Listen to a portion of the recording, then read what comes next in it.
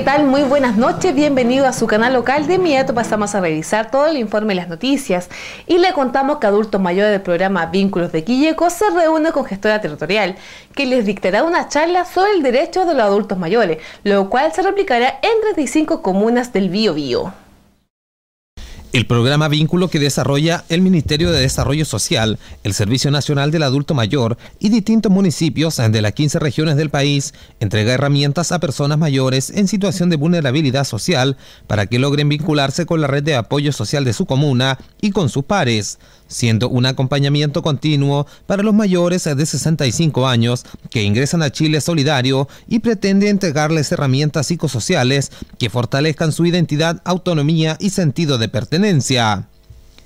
En esta reunión participó además del personal de dicho programa el alcalde de la comuna Rodrigo Tapia Bello, Mariana Cerda Pincheira Dideco, Cecilia Abuter, encargada social.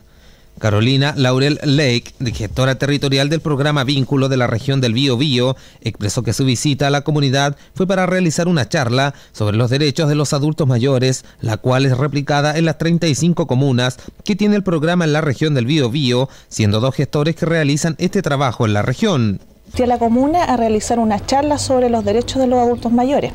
Esta charla de los derechos de los adultos mayores eh, se está replicando en las 35 comunas que tiene el programa Vínculo en este momento.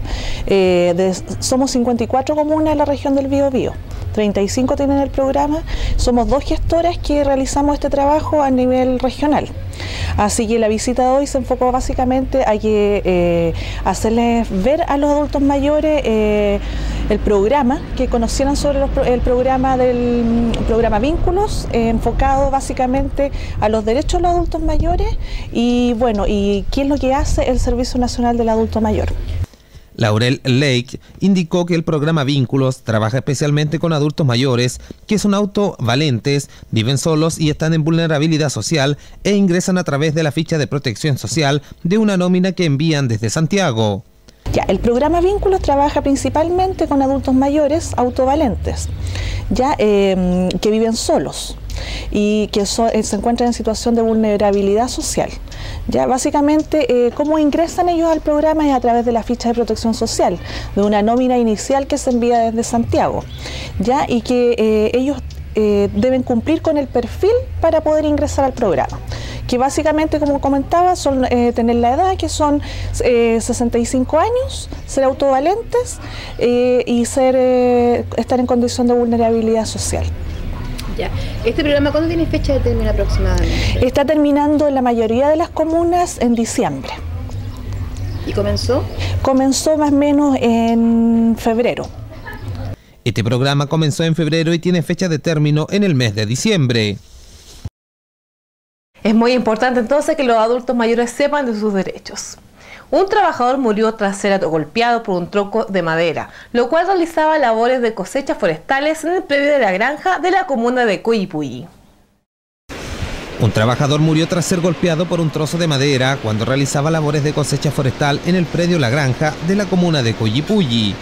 El hombre identificado como Andrés Yáñez Oñate, que registraba domicilio en la comuna de Santa Juana de la región del Bío Bío, falleció de manera instantánea debido a las graves heridas sufridas por el accidente. El accidente ocurrió cuando la víctima desarrollaba labores forestales con una motosierra junto a una máquina a la que se le habría soltado un tronco de madera, el cual golpeó fuertemente el rostro de Yáñez Oñate, causándole la muerte de forma instantánea.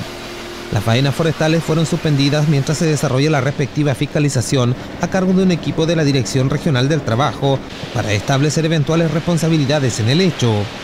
Los antecedentes de lo ocurrido fueron entregados por carabineros de la segunda comisaría de Coyipulli al fiscal de turno del Ministerio Público.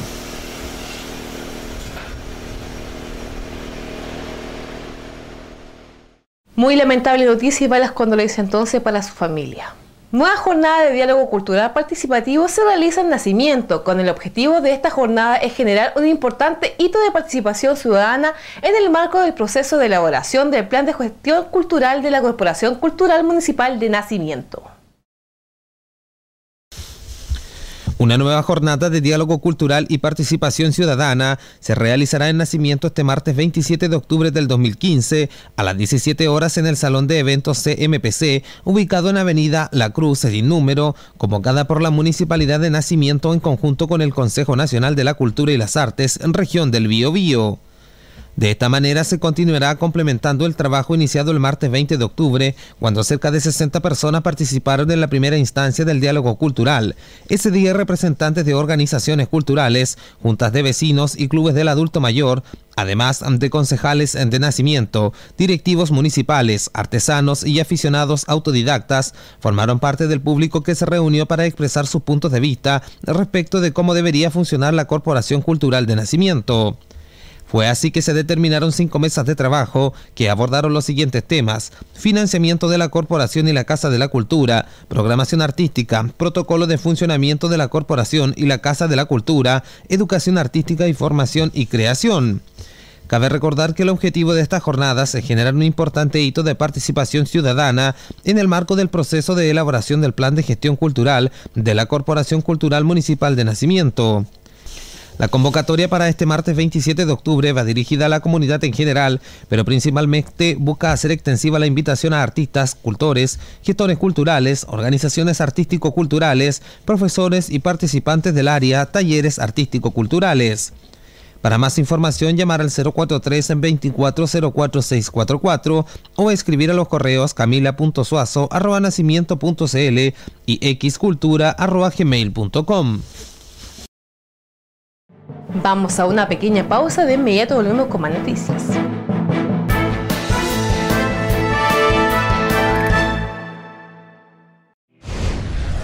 Un robo con intimidación. Un robo que Daniel nunca llevó a cabo.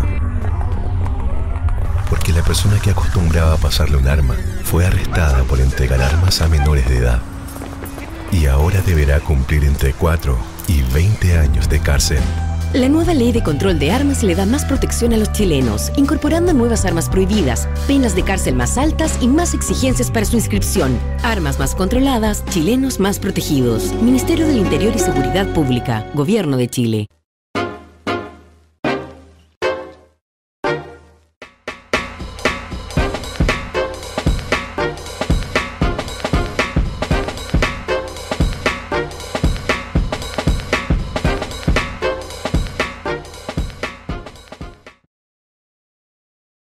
Es dentista y Laura, trabajadora de casa particular.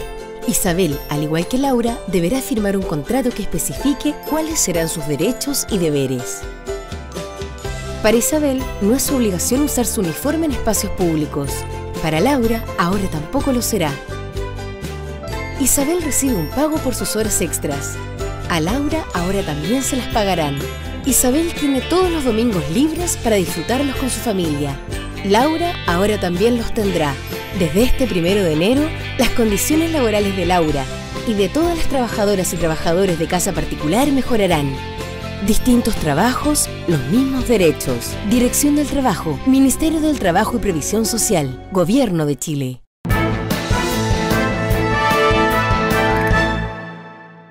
Ya estamos de vuelta y le contamos que tras 13 días de paro, los médicos movilizados de los cinco sapos presentes en Los Ángeles llegaron a acuerdo con el municipio, por lo que volverán a atender en todos los recintos asistenciales.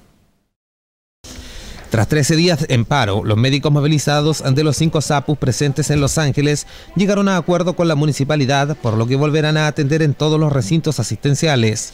El mismo alcalde Esteban Krause fue quien confirmó la noticia, afirmando que tras días de negociaciones, los médicos obtuvieron 8 de los 9 puntos que pedían, cediendo eso sí el aumento salarial, el cual fue cambiado por una mejora laboral en cuanto al estado contractual.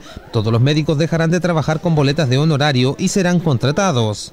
Por su parte, Enrique París, presidente del Colegio Médico de Chile en la zona, afirmó que la solución definitiva a las movilizaciones es aumentar los recursos al área de salud y la contratación permanente de los doctores, ya que cabe recordar que ellos trabajan a horarios. Aseguró que el tema no necesariamente pasa por un aumento de las remuneraciones, sino de mejoras en las condiciones laborales. Cabe consignar que los médicos movilizados repondrán hoy el servicio a la comunidad, el cual se vio interrumpido desde el pasado 13 de octubre hasta hoy, lo que generó diversas molestias entre los usuarios. El horario de atención, como siempre, se extiende desde las 17 horas hasta las 23 horas. Qué buena noticia entonces que ya se terminó este paro. Más de 600 millones de pesos fueron aprobados por el Consejo Regional del Biobío para la comuna de Tucapel, monto con el que se podría llevar a cabo importantes proyectos de pavimentación y mejoramiento vial. Más de 600 millones de pesos fueron aprobados por el Consejo Regional del Bío para la comuna de Tucapel, monto en el que se pondrá a llevar a cabo importantes proyectos de pavimentación y mejoramiento vial. Así lo confirmó el alcalde José Antonio Fernández, quien afirmó que esto es una medida que vienen esperando hace bastante tiempo como comuna, pero con la aprobación de los recursos están confiados de poder concretar grandes proyectos para Tucapel. El detalle de estos fondos consiste en la adjudicación de 254 millones 845 mil pesos para el mejoramiento de la calle Ronald Ram, lo que implica la construcción de aceras y colectores de aguas lluvia. Por otra parte, la reposición de aceras en las calles San Diego, Diego Portales, Ecuador y Arturo Prat de Huepil por un monto de los 369 millones 588 mil pesos. En palabras de la máxima autoridad tucapelina, el proyecto se enmarca en los trabajos que tienen proyectados para pavimentar e instalar sistemas de alcantarillado con el fin de dar una solución definitiva a los vecinos que se ven afectados por estas falencias, según el alcalde, momentáneas, aseguró. A la vez, el jefe comunal se mostró conforme con la adjudicación de dichos proyectos, ya que aseguró todo plan que vaya en pos de mejorar la calidad de vida para la población es el eje principal del trabajo como municipio y sin duda la pavimentación y mejoramiento vial es un gran aporte para lograrlo. Y con esta excelente noticia vamos a una pequeña pausa de inmediato volvemos con más noticias.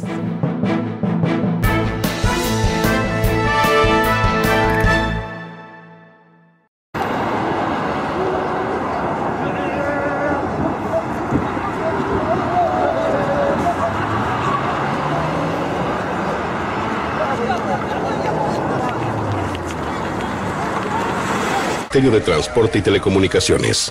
Gobierno de Chile.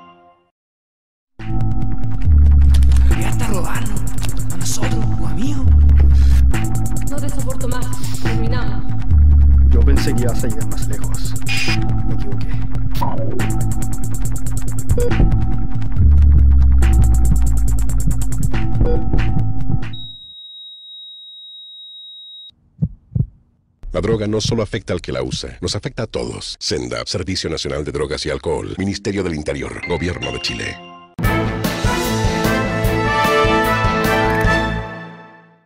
Y ya estamos de vuelta y le contamos y le invito a conocer las diferentes becas que existen para los estudiantes universitarios. Quienes acceden a este beneficio no deben regresar el dinero al Estado. Financiar una carrera universitaria es una de las mayores dificultades de los alumnos y padres de cuarto año, quienes en estas fechas ya comienzan a elegir su opción de profesión u oficio. Actualmente el sistema chileno cuenta con una serie de beneficios a los que se puede acceder y que permiten reducir los costos en el arancel. A diferencia de un crédito, quienes acceden a estos beneficios no deben devolver los recursos al finalizar los estudios. A continuación se encuentran diversas becas de arancel que otorga el Mineduc para estudiantes que ingresan a su primer año de carrera. Estas cubren el total o parte del valor anual de la misma y en algunos casos la matrícula. El único requisito es obtener 600 puntos o desde 580 puntos si el alumno pertenece al 10% de los mejores egresados de su establecimiento educacional.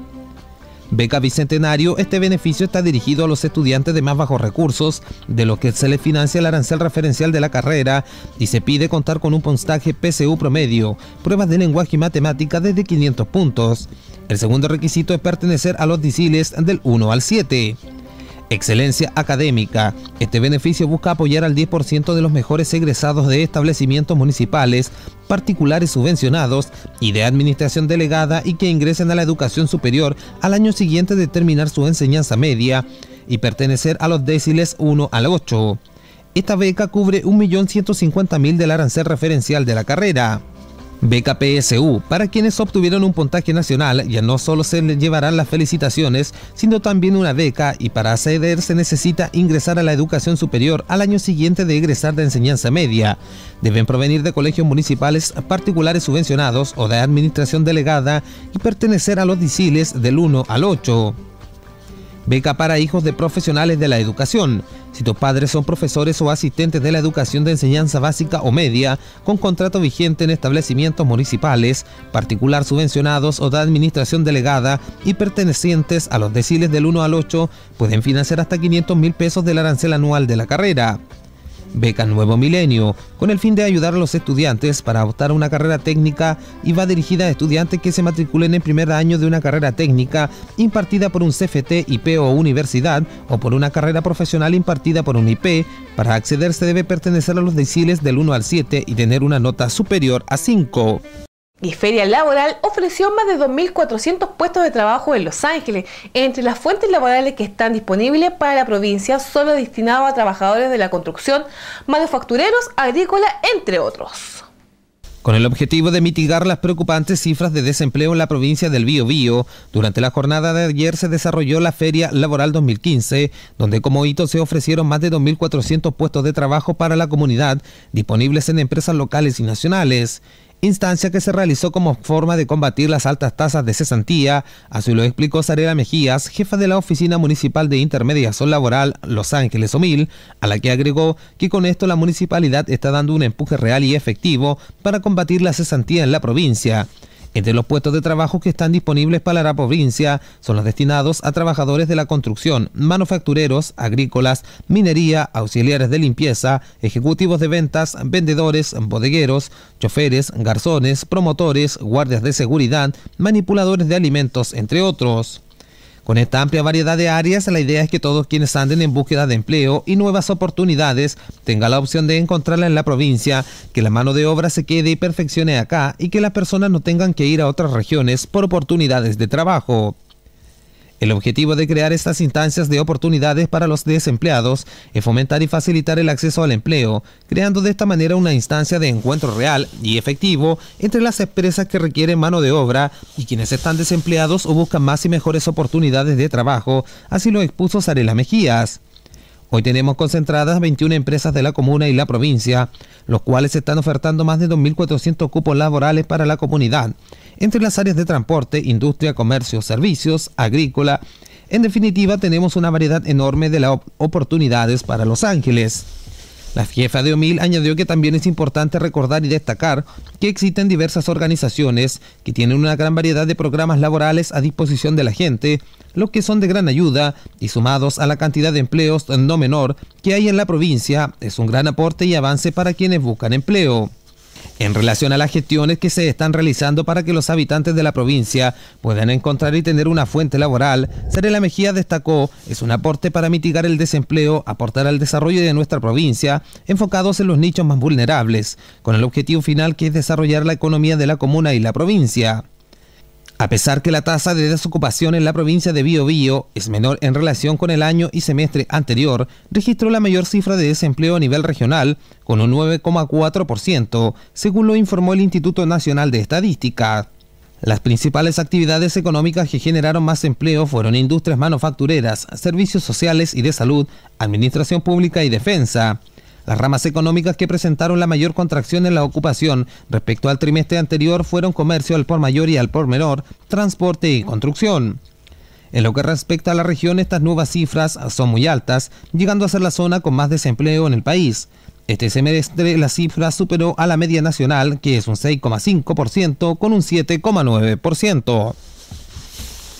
Y bien quedado totalmente informado entonces con las noticias, les invito a conocer el pronóstico del tiempo junto a la Dirección Meteorológica de Chile.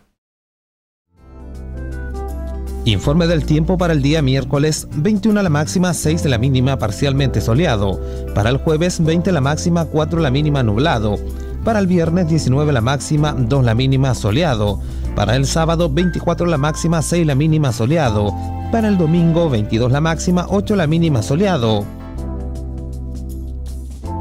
Para Canteras, miércoles 21 la máxima, 6 la mínima, parcialmente soleado. Jueves 20 la máxima, 4 la mínima, nublado. Viernes 19 la máxima, 2 la mínima, soleado. Sábado 24 la máxima, 6 la mínima, soleado. Domingo 22 la máxima, 8 la mínima, soleado. Para Tucapel, el miércoles 16 la máxima, 6 la mínima, parcialmente soleado. Jueves 15 la máxima, 4 la mínima con nubosidad. Viernes 14 la máxima, 5 la mínima soleado. Sábado 17 la máxima, 6 la mínima soleado. Domingo 18 la máxima, 4 la mínima soleado. Para Los Ángeles, miércoles 21 la máxima, 8 la mínima parcialmente soleado. Jueves 19 la máxima, 6 la mínima nublado. Para el viernes 18 la máxima, 6 la mínima soleado con viento. Para el sábado 21 la máxima, 6 la mínima soleado con brisa. Domingo 22 la máxima, 7 la mínima soleado.